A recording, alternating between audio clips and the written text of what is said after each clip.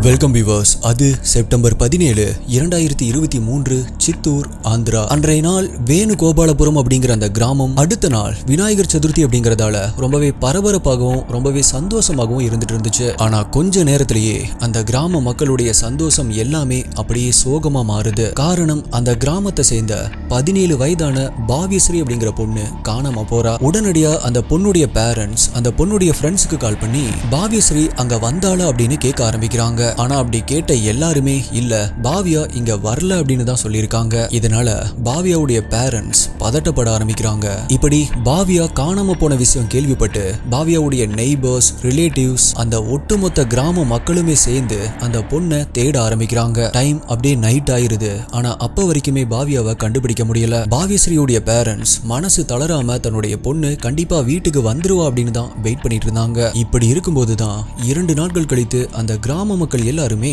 அந்த கிராமத்துக்கு கொஞ்சம் தூரம் தள்ளி இருக்கிற ஒரு கிணத்தை சுத்தி எதையோ வேடிக்கை பார்த்துட்டு இருந்தாங்க. அப்படி அந்த கிணத்துக்குள்ள அவங்க பார்த்த அந்த காட்சி எல்லாத்தையுமே நிலை குலைய வச்சது அப்படின்னு தான் சொல்லணும். அந்த காட்சியை பார்க்குற யாரா இருந்தாலுமே மனசுல தைரியத்தை வர வச்சுட்டு தான் அதை பார்க்க முடியும். அப்படி அந்த கிராம மக்கள் பார்த்த காட்சி என்ன? காணாம போன பாவியஸ்ரீக்கு அன்னைக்கு என்ன நடந்துச்சு அப்படிங்கிற ரொம்பவே ரீசெண்டா நடந்த ஆந்திரால இப்ப ட்ரெண்டிங்ல போயிட்டு இருக்கிற கேஸை பத்தி தான் இன்னைக்கு வீடியோல நம்ம டீகோட் பண்ண போறோம். நிறைய பேர் இப்ப ரீசெண்டா இந்த கேஸை போடும்படி கீழே கமெண்ட்ஸ்ல கேட்டுட்டே இருந்தீங்க. அதன்படி இப்போ வரைக்குமே இந்த கேஸ்ல என்ன நடந்திருக்கு அப்படிங்கறத பார்க்கலாம். நீங்க பார்த்துட்டு இருக்கிறது சரவணன் டி கோட்ஸ் நான் உங்கள் சரவணன். வாங்க இன்னைக்கு வீடியோக்குள்ள போலாம்.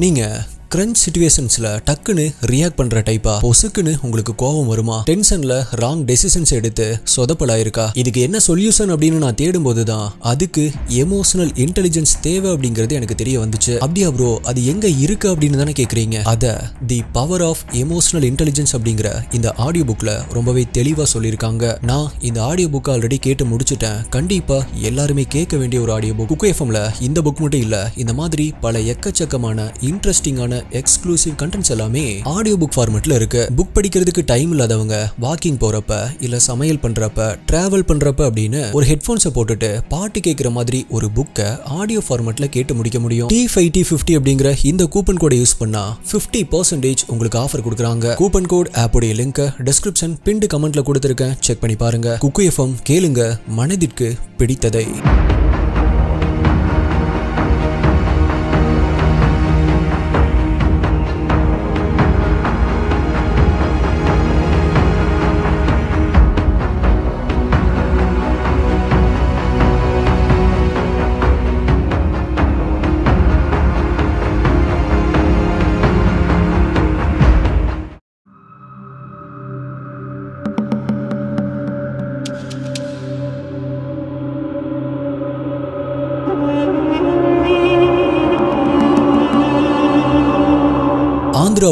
சித்தூர் அப்படிங்கிற மாவட்டத்தில் இருக்கிற ஒரு சின்ன கிராமம் தான் வேணுகோபாலபுரம். அந்த கிராமத்துல முனி கிருஷ்ணய்யா மற்றும் பத்மாவதி தம்பதியுடைய பொண்ணு தான் பதினேழு வயதான பாவியஸ்ரீ. அந்த பொண்ணு ஒரு இன்டர்மீடியட் ஸ்கூல்ல தான் படிச்சுட்டு இருந்திருக்கா.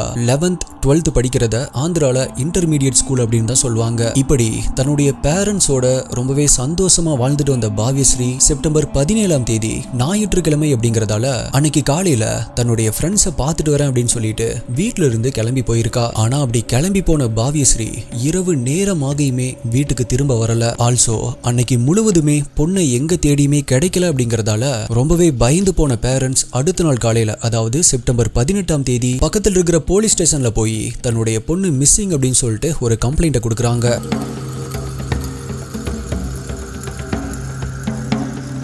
பொதுவாகவே ஒரு மிஸ்ஸிங் கேஸை பொறுத்த வரைக்கும் கோல்டன் டைம் பீரியட் அப்படின்னு ஒரு டைம் இருக்கு. அந்த குறிப்பிட்ட டைம்குள்ள ஆக்ஷன் எடுத்து கண்டுபிடிச்சா அப்படி காணாம போனவங்களை உயிரோட கண்டுபிடிக்கிறதுக்கு அதிகமான சான்சஸ் இருக்கு. ஆனா போலீஸோ உடனடியா இன்வெஸ்டிகேஷனை ஸ்டார்ட் பண்ணாம ரொம்பவே அலட்சியமா இருந்ததா பொண்ணுடைய பேரண்ட்ஸ் சைட்ல இருந்து பின்னாட்கள்ல சொல்லப்படுது. ஆனா போலீஸ் சைட்ல கம்ப்ளைண்ட் கொடுத்த உடனே நாங்க இன்வெஸ்டிகேஷனை ஸ்டார்ட் பண்ணிட்டோம் அப்படின்னு அவங்க சொல்லியிருக்காங்க. இப்படி தன்னுடைய ஃப்ரெண்டு வீட்டுக்கு போறேன் அப்படின்னு சொல்லிட்டு போன தன்னுடைய பொண்ணு எங்க போனா? அவளுக்கு என்ன ஆச்சு அப்படின்னு இரவும் பகலும் தூங்காம தன்னுடைய பொண்ணுக்காக கடவுள் கிட்ட வேண்டிட்டு இருந்தாங்க. ஆனா அந்த வேண்டுதல் அவங்க ஊர்ல விநாயகர் சதுர்த்தியில் இருந்த யானை முகத்தோனுக்கு சரியா கேட்கலையோ என்னவோ. பிகாஸ் தன்னுடைய பொண்ணை எப்படியாவது உயிரோட கொண்டு வந்து வீட்டுக்கு சேர்த்துரு அப்படின்னு அவங்க வேண்டுனதுக்கு அவங்களுடைய பொண்ணை வீட்டுக்கு மட்டும் கொண்டு வந்து சேர்த்தாரு.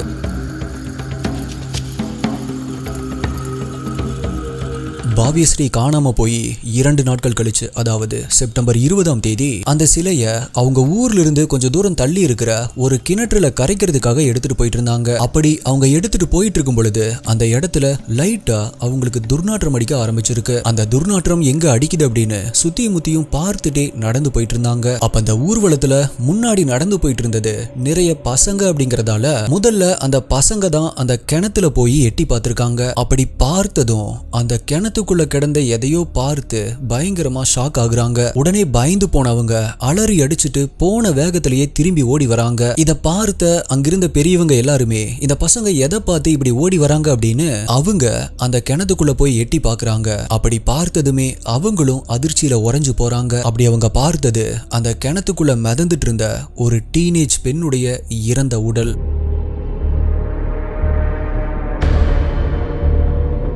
அதுவும் அந்த உடல் ரொம்ப நேரம் தண்ணியில் இருந்ததால உடம்பு எல்லாமே வீங்கி போய் பாக்குறதுக்கே ஒரு மாதிரி பயங்கரமான தோற்றத்தில் இருந்திருக்கு. உடனடியா சுத்தி இருந்த மக்கள் எல்லாருமே ஒன்னா கூடி அதை வேடிக்கை பார்க்க ஆரம்பிக்கிறாங்க. இந்த விஷயம் போலீஸ்க்கு இன்ஃபார்ம் பண்ணப்பட்டு போலீஸும் உடனடியா அங்க கிரைம் சீனுக்கு வராங்க. இப்ப அந்த இறந்த உடலை மக்கள் கிணத்துல இறங்கி வெளியே தூக்கும் போது அந்த டெட் பாடியுடைய கை தனியா பிஞ்சிட்டு வந்துச்சு அப்படின்னு சொல்லப்படுது. அந்த அளவுக்கு அந்த டெட் பாடி தண்ணியில ஊறி போயிருந்துச்சு அப்படின்னு சொல்லப்படுது.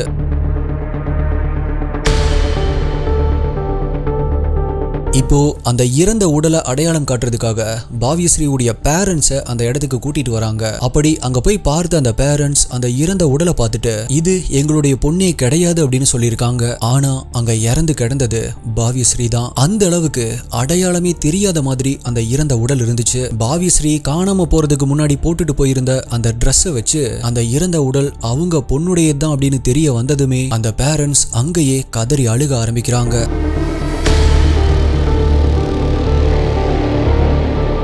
அதுக்கப்புறமா போலீஸ் அந்த இறந்த உடலை அட்டாப்சி பண்றதுக்காக அனுப்பி வைக்கிறாங்க. அட்டாப்சி ரிப்போர்ட்ல பாவிஸ்ரீவுடைய உடல்ல எந்த விதமான காயங்களோ இல்ல ரேப் பண்ணதற்கான எந்த ஒரு அடையாளமோ இல்ல அப்படின்னு ரிப்போர்ட் வருது. ஆனா பாவிஸ்ரீவுடைய இறந்த உடல்ல அவளுடைய முன் தலையில் இருக்கிற முடிய யாரோ ஷேவ் பண்ணி எடுத்த மாதிரி முன்னாடி முடியே இல்லாம இருந்திருக்கு. மேலும் பாவிஸ்ரீவுடைய கண் புருவங்கள் முதல் கொண்டு சேவ் பண்ணி எடுத்த மாதிரி இருந்திருக்கு. ஆல்சோ அவளுடைய உடைகள் கிழிக்கப்பட்டிருந்திருக்கு.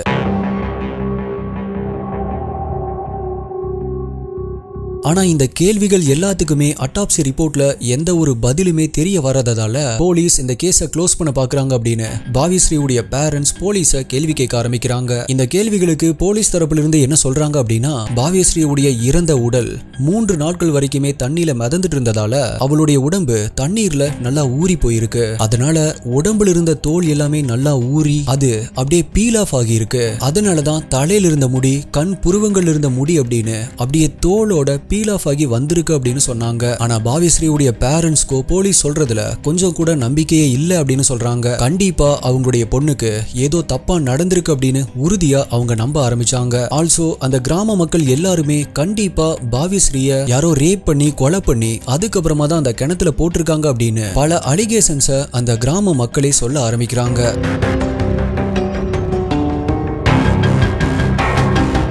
அதுக்கப்புறமா இந்த விஷயம் சோசியல் மீடியால ஷேர் ஆக ஆரம்பிக்குது. அப்படி ஷேர் ஆன அடுத்த நொடியே இந்த நியூஸ் வைரலா மாற ஆரம்பிக்குது. ஒரு சென்சேஷனல் நியூஸா மாற ஆரம்பிக்குது. அதுல சுமன் டிவி இன்ஃபர்மேஷன் அப்படிங்கிற ஒரு தெலுங்கு யூடியூப் சேனல்ல பேசியிருக்கிற மாதவி உல்டா அப்படிங்கிறவங்க என்ன சொல்லியிருக்காங்க அப்படின்னா இப்ப இந்த பாவிஸ்ரீவுடைய கேஸ்ல இரண்டு விதமான அலிகேஷன்ஸ் வைக்கப்படுது. ஒன்னு அந்த கிராம மக்கள் மற்றும் அந்த பேரண்ட் சைடு என்ன சொல்லியிருக்காங்க அப்படின்னு இவங்க சொல்லியிருக்காங்க அப்படின்னா பாவியஸ்ரீக்கு மொத்தமா நான்கு பசங்க. அவ ஸ்கூல் போயிட்டு வரும்போது பின்னாடியே சுத்தி ஒரு ஹாரஸ்மெண்ட் மாதிரி பண்ணி லவ் ப்ரொபோஸ் பண்ணியிருக்காங்க அப்படின்னும் அதில் ஒரே ஒரு பையனுடைய ப்ரொபோசலை மட்டும் அந்த பொண்ணு அக்செப்ட் பண்ணியிருக்கா அப்படின்னும் அது மட்டும் இல்லாமல் அடிக்கடி அந்த பையன் கூட பாவியஸ்ரீ வெளியே போயிருக்கா அப்படிங்கிறதும் சொல்லப்படுது.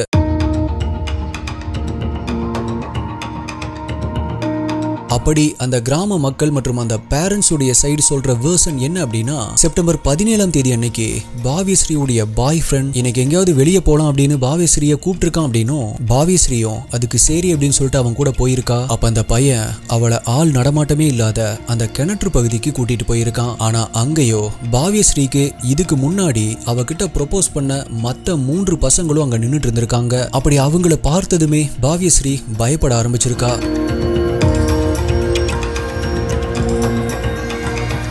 அவளுடைய பாய் ஃப்ரெண்ட் கிட்ட எதனால இந்த மூணு பேருமே இங்க நின்றுட்டு இருக்காங்க அப்படின்னு சொல்லி கேட்டிருக்கா. அதுக்கு அந்த பாய் ஃப்ரெண்டோ அந்த மூணு பேருமே உங்ககிட்ட எதையோ சொல்லணும் அப்படின்னு சொன்னாங்க. அதனால தான் நான் உங்களை கூட்டிட்டு வந்தேன் அப்படின்னு சொல்லியிருக்கான். இதுல ஏதோ தப்பா இருக்கு அப்படின்னு உணர்ந்த பாவியஸ்ரீ அங்கிருந்து ஓட முயற்சி பண்ணியிருக்கா. ஆனா அந்த நான்கு பேருமே அவளை ஓட விடாம அங்கிருந்து தடுத்து அவளை ரேப் பண்ணி அவளுடைய முன் தலை மற்றும் புருவங்களை சேவ் பண்ணியிருக்காங்க. மேலும் அவளுடைய கண் இமைகளை வெட்டி எடுத்திருக்காங்க. அதுக்கப்புறமா கொலை பண்ணி தான் அங்க இருக்கிற கிணத்துக்குள்ள போட்டிருக்காங்க அப்படின்னு அந்த கிராம மக்கள் மற்றும் பாவியஸ்ரீயுடைய பேரண்ட் சைடு இந்த வேர்சனை சொல்லியிருக்காங்க?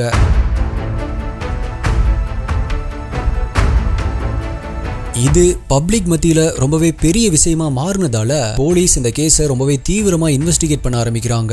சோ அந்த கிணத்துல இருந்து வேற ஏதாவது எவிடன்ஸ் கிடைக்கலாம் அப்படின்னு இப்போ மோட்டரை வச்சு அந்த கிணத்துல இருக்கிற தண்ணி எல்லாத்தையுமே அப்படியே வெளியேத்துறாங்க. ஃபைனலா அந்த கிணத்துக்குள்ள இருந்து அவங்களுக்கு கிடைச்சது பாவியஸ்ரீயுடைய தலைமுடி. அதாவது அவளுடைய முன் தலையிலிருந்து சேவ் பண்ணி எடுக்கப்பட்டதா அவளுடைய பேரண்ட்ஸ் சைடு சொன்ன அந்த முடி அந்த ஹேருடைய மிச்சம் தான் அங்க கிடைச்சிருக்கு.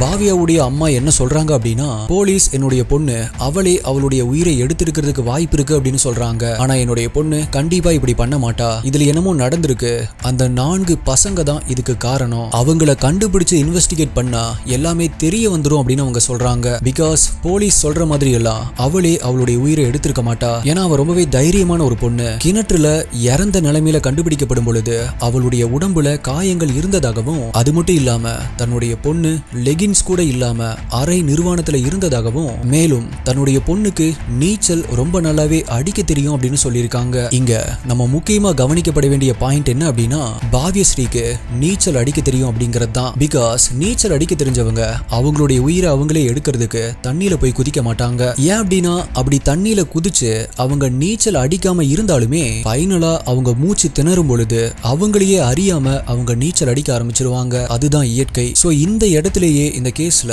வேற ஏதாவது நடந்திருக்கலாம் அப்படிங்கிறது தெரிய வருது. ஆனா போலீஸ் சைட்ல இப்ப என்ன சொல்லியிருக்காங்க அப்படின்னா பாவியஸ்ரீயுடைய உடல் உறுப்புகள் எல்லாமே பிரிசர்வ் செய்யப்பட்டிருக்கு. ஃபியூச்சர்ல அட்டாப்சி பண்றதுக்கும் இது ரேப்பா அப்படிங்கறத கண்டுபிடிக்கிறதுக்கும் இது ரொம்பவே உதவும். இப்போதைக்கு இது கொலையா அல்லது அவங்களே அவங்களுடைய உயிரை எடுத்துக்கிட்டாங்களா அல்லது இங்க வேற என்ன நடந்திருக்கு அப்படிங்கறத எங்களால இப்ப உறுதியா சொல்ல முடியல. இப்போதைக்கு இன்வெஸ்டிகேஷன் போயிட்டு இருக்கு இன்வெஸ்டிகேஷனுடைய முடிவுல நாங்க சொல்றோம் அப்படின்னும் சோசியல் மீடியால பாவியஸ்ரீயுடைய மரணத்தை பத்தி எந்த ஒரு தவறான தகவலும் பரப்ப வேண்டாம் அப்படின்னு ரிக்வஸ்ட் பண்ணிருக்காங்க. அன்னைக்கு காலையில ஃப்ரெண்டு வீட்டுக்கு போறதா சொல்லிட்டு கிளம்பி போன பாவியஸ்ரீக்கு உண்மையிலேயே என்னதான் நடந்துச்சு அப்படிங்கிறது போலீஸுடைய இன்வெஸ்டிகேஷனுடைய முடிவுல தான் தெரிய வரும். அப்படி அப்டேட்ஸ் வந்ததுக்கு அப்புறமா தனியா ஒரு வீடியோ போடுறேன். ஸோ எஸ்டிஐ ஹெச்டி இன்வெஸ்டிகேட்டர்ஸ் நீங்க இந்த கேஸ்ல என்ன நடந்திருக்கும் அப்படின்னு நினைக்கிறீங்க? உங்களுடைய கருத்துக்களை மறக்காம கீழே கமெண்ட் பண்ணுங்க. உங்களுடைய பெஸ்டான கமெண்ட் அடுத்த வீடியோல வரும். வேற ஒரு வீடியோல மீட் பண்றேன். நன்றி. பாய்